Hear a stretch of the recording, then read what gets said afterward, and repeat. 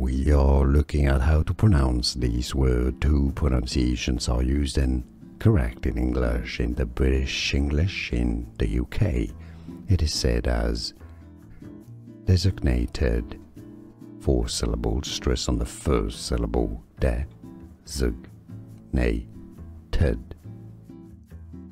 Designated in American English in the US, it's rather pronounced as designated. We are looking at how to pronounce these words. Two pronunciations are used and correct in English. In the British English in the UK, it is said as designated, four syllables, stress on the first syllable, de, zug, nay, ted.